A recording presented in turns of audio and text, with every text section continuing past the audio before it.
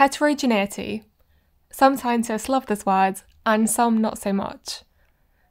But I think it can be really informative. We know that people age at different rates, and different organs and tissues also seem to age at different rates. But how do we interpret those differences and use that understanding to see what the causes of aging may be? Well, hello and welcome to the Sheekey Science Show, where in this video we'll be talking about a cool new method that enables you to estimate the age of a single cell. A single cell! So, to break it down, we need to first recap how you can determine biological age. So, I don't just mean the number of days spent since birth, and then how you can do it for a single cell, and then why you should even care about it. So let's start with age. As I've established, here we go beyond chronological age, the number of days passed since you were born, but instead to biological age. Biological age, instead of using time as a measurement, it uses different biomarkers. Currently, these can range from facial images to proteins present in your blood, but of relevance to this video is DNA methylation, a type of epigenetic mark that can be found on DNA. The use of these measurements has raised excitement about the ability to be better at predicting disease risk, which may therefore have clinical relevance, but also to be used in research to further understand the aging process. So, DNA methylation, you can think of this as tags on top of your DNA sequence. In particular, the sites of methylation commonly employed in these studies are at certain genomic sites called CPGs, and it's the cytosine, the C, that gets the methylation. By detecting the presence or absence of methylation at these sites, researchers have been able to generate epigenetic clocks of age related DNA methylation changes that show strong associations with age. There are different ways to track these changes in methylation, but essentially the clocks are interested in the DNA site and whether the methyl group is absent or present. So currently, these measurements of DNA methylation used to predict biological age otherwise known as epigenetic clocks or aging clocks, they're currently measured by having a bunch of cells from a tissue sample, as you may have even tested yourself from blood samples or cheek swabs, and then the DNA can be extracted and used to measure DNA methylation. You need to have enough material for this to work, as some of it gets lost along the way during the processing. And this helps to therefore provide a more reliable measurement. And so this is from a, a population of cells, so you get an average across all of the cells. And so this is the key difference from looking at single cell approaches, where you would measure the age of a single cell. But the thing is, loss of material and overall coverage goes down. So it's unlikely you're going to get a measurement for each of these CPG sites. And this is depicted in this figure here, where you can see that cell A and cell B cover different regions of a reference genome, so the total DNA sequence. Whereas in a bulk sample, you get data from many cells, and so once you put it all together, you cover a larger region of the reference genome. And so the other problem this brings is that if you wanted to compare cell A and cell B, you kind of can't so well because they don't overlap that much. And so you have limited, distinct profiles for individual cells. And so if you were looking at methylation sites in a cell, you won't get a value for each one, as you can also see in this table here. So, so far, this doesn't really sound like a reliable way to measure the age of a cell. But that is what brings us on to this publication how to address this problem and actually get an epigenetic age of single cells. So, in this paper, they introduce single cell age, a framework for profiling of epigenetic age using single cell methylation data. So, basically, getting this methylation data just on a single cell instead of having one average data point. So, to develop this framework, they had to make some assumptions and included some features. So, the first problem to solve is the fact that from a single cell, you're not going to get a, a measurement point for each of the different sites of interest. And so, to solve that, they could use methylation levels of highly conserved sites from bulk tissue samples. And then, by having it from the bulk data, you could then kind of estimate a probability of binary methylation at particular CPG sites in any single cell from that tissue. So, to phrase that in a way that I can understand, if in the bulk analysis we see a CPG site that has high methylation, then I would estimate that there would be a high probability that a single cell would have a methyl at that site too. And so effectively, you can derive a probability for each CPG site based on bulk data, and that would be your reference point. And then another consideration is which CPG sites are more important for predicting the epigenetic age.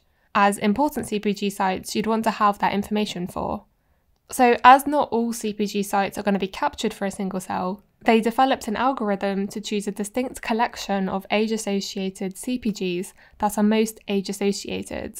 So, combining that with the first point, you can estimate the probability of observing a methylated state at each of these more important CPG sites for each age, and then compare that with what values you actually measure for a single cell that you analyse. And so, to get a value of age for a single cell, they assumed that each methylation state is independent, and so they can multiply all the probabilities together to get an overall likelihood of the age associated methylation profile. The age that is most likely is therefore the predicted epigenetic age of the cell. Now, since I don't think I did the best job of explaining this, I caught up with the lead author of this publication, Alex Trapp, who gives a much better explanation. Because we got single cells, we don't get all of the CPG sites. There's like less overlap between different cells. And so, does that mean when you predict the age for a single cell, the the CPG sites that you use are different for each one? Absolutely. So that was one of the big things that we had to, because no method before that had done that. The, all these elastic net like tools, essentially, you you give it the, the methylation matrix that you have, and then it, it derives you a couple CPG sites that are informative um, based on the mathematics, essentially, and it uses those to predict age. But, it, but the assumption there is that all these CPG sites that it chooses should be available in any type of, of sample that you use. And if they're not, you have a problem because there are coefficients associated with these CPG sites. And if you don't have a methylation value to multiply by that coefficient, then something about the model um, will not be as good uh, as if you had all of those. So with single cells, there was no way, uh, at least with present methods, to do that. Since, as you're saying, um, and what we saw is that the very discordant reads, right? So one cell might have a particular set of CPG sites, uh, and then another cell might have a completely different one. So what we do is we create this reference data set that uh, kind of catalogs um, a fair amount of CPG sites, um, a million, uh, more than a million if you want. You can, it's very flexible, so you can use any type of, of, reference set. And the idea is that it maps how methylation changes in bulk data um, with age. So it may increase, it may decrease, it may not change. And so we use this reference data set and we selectively intersect it with the given single cell so that we only look at the CPG sites that are covered both in the single cell and in the reference data set. Um, and that's kind of how we get around the, the problem. And then further from that, we, we kind of rank them. There's another algorithm that we use um, to rank and filter them based on only the CPG sites that we're really interested in. So as, as I said, most of them are totally uninformative of age. So either they'll be unmethylated uh, the whole time or methylated um, uh, also the whole time. But what we're really interested in is are the ones that are dynamic, right? The ones that change with age. So maybe it'll be unmethylated or mostly unmethylated at young ages and then uh, gain in methylation over age or, or the opposite. Whether or not you understand my explanation or not, the more important question is was all the trouble worth it?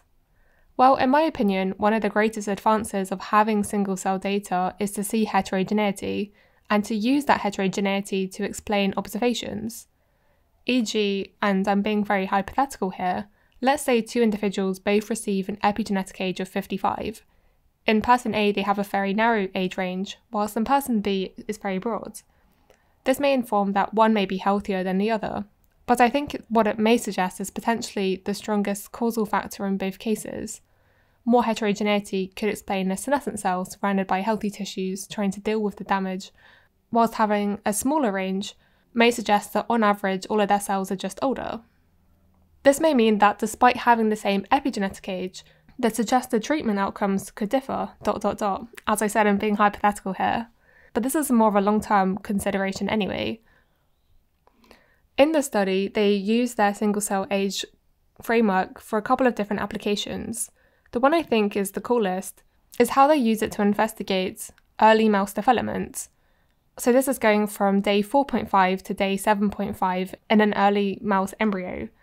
And the reason why this was of interest is because early embryogenesis has been suggested to be associated with an initial decrease in biological age to a point termed ground zero, after which all organismal aging formally begins. And so, if you look at this figure here, what you can see is that going from day 4.5 to 7.5, they see a steady and significant reduction in the predicted age, And so this is consistent with the notion of a rejuvenation event happening in early embryogenesis to erase damage that's accumulated from the parental gamete cells so that the newborn embryo can start fresh from ground zero. Other interesting applications would be to use the single cell approach to have a better understanding of linking these methylation sites to potential functions. And one way that they could also do that is by combining these single cell epigenetic age measurements with so called transcriptomics, so seeing what genes are being expressed in a cell. And so you can basically see the age of the cell and what it's up to. And this could also be useful for evaluating the efficiency of cellular reprogramming, such as turning a differentiated cell into a stem cell. And this process is currently quite heterogeneous and not necessarily that efficient. So, combining the single cell age and gene expression in single cells is something that I expect we will see in the future. Anyway, I hope you found this video interesting and that you've learned something. You can catch our full length discussion by using the link in the description. And with that, I'd like to say thank you to my Patreon supporters and thank you for listening.